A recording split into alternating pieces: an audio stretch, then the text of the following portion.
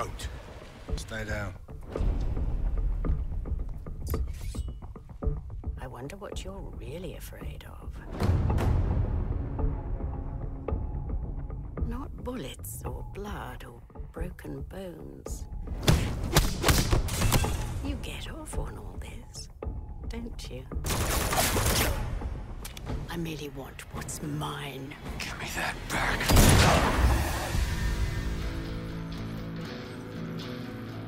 The map proves it. Drake sailed straight through and headed to Arabia. Great, but what for? The legend crops up over and over. Ubar, Iram of the Pillars. City of immeasurable wealth, destroyed by God for its arrogance. The Atlantis of the Sands. Small problem.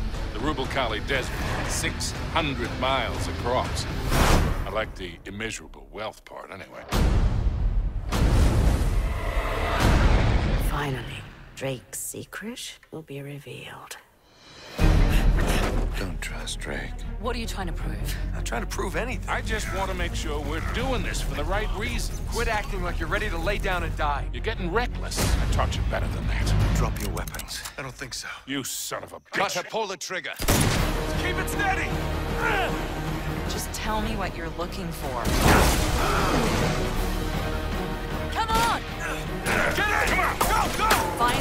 Bring me the ring. No cursed treasures? Nope. No diabolical warlords? No.